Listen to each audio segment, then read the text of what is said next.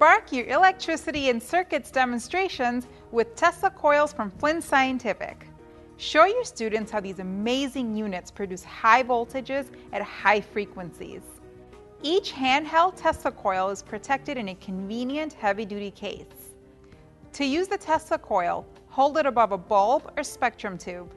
Demonstrate that wires or direct electrode contact are not needed to promote the gas molecule's electrons from the ground state to various excited energy states which of course results in light as those electrons relax back down to the ground state.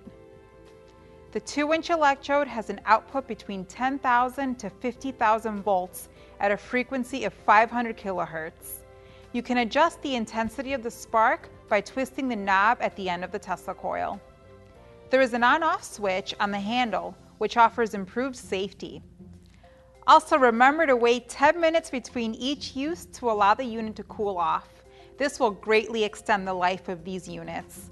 Explore a multitude of demonstrations and lab activities with Tesla coils from Flinn Scientific.